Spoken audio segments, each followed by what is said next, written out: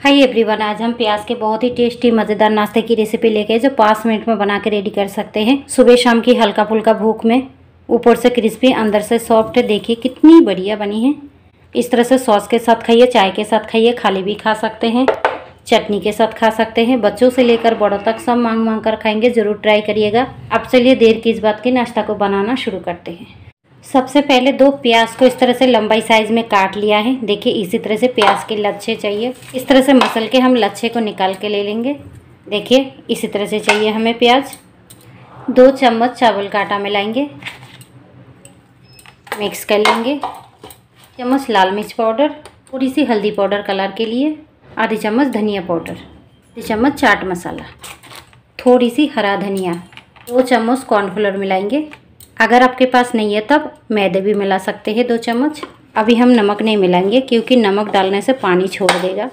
इसी तरह से हमें प्याज को कोटिंग करके लेना है। जब हम फ्राई करेंगे तो निकलेगी ना। अब इसको हम साइड में रख देंगे। दो बॉयल आलू ग्रेट करके ले लिया है।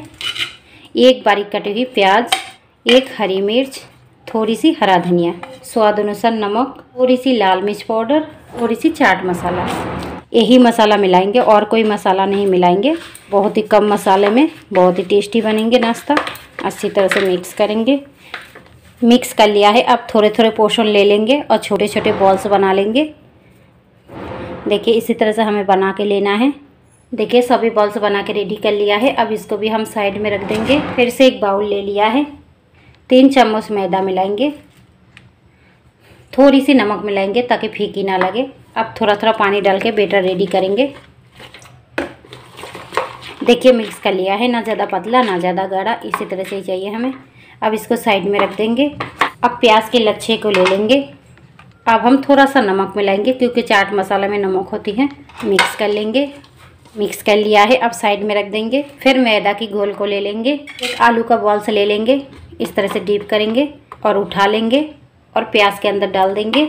इसको इस तरह से हमें कोटिंग करके लेना है। इस तरह से मुट्ठी में करके कोटिंग करेंगे। देखिए, बड़ी आसानी से कोटिंग हो गई है।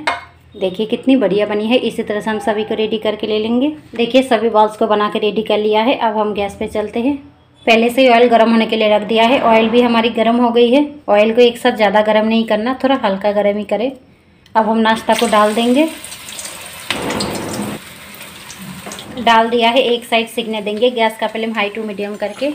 एक साइड सीख गई है, अब हम पलट लेंगे।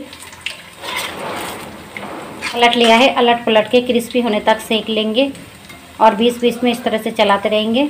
देखिए कलर कितनी बढ़िया आई है। अब गैस का फ्लेम थोड़ा सा कम कर देंगे। दो तीन मिनट और सेक लेंगे। बनाना जितना आसान है, खाने में उतना ही टेस्टी है। सुबह शाम अगर हल्का फुल्का खाना हो तो इस तरह की नाश्ता बना सकते हैं, चाय के साथ खा सकते हैं। अगर अचानक मेहमान आ जाए तो भी बना सकते हैं। वो आपकी तारीफ़ करेंगे। बहुत ही मज़ेदार है, टेस्टी है। बच्चों से लेकर बड़ों तक सब मांग मांग कर खाएँगे। एकदम न्यू रेसिपी है, ज़रूर ट्राई करिएगा। ये नाश्ता हमारी सीख गई है कलर भी बढ़िया आ गई है। अब हम निकाल लेंगे। देखिए, मैं पास से दिखा रही हूँ कितनी बढ़िया बनी है। सभी नाश्ता को इसी तरह से रेडी करके ले लेंगे। देखिए, नाश्ता हमारी रेडी है खाने के लिए। कितनी बढ़िया बनी है। देखिए, ऊपर से क्रिस्पी अंदर से सॉफ्ट है। इस तरह से सॉस के साथ खाइए, चटनी के साथ खाइए, चाय के साथ खाइए। बहुत ही मज़ेदार है, टेस्टी है। उम्मीद करती हूँ आपके नाश्ता की रेसिपी पसंद आई होगी। अगर पसंद आए तो वीडियो को एक लाइक ज़रूर कर दीजिएगा और चैनल पे नई हो और नई नई रेसिपी देखने के लिए चैनल को सब्सक्राइब ज़रूर कर दीजिएगा। अब चलिए अगली वीडियो पे मिलते हैं। बाय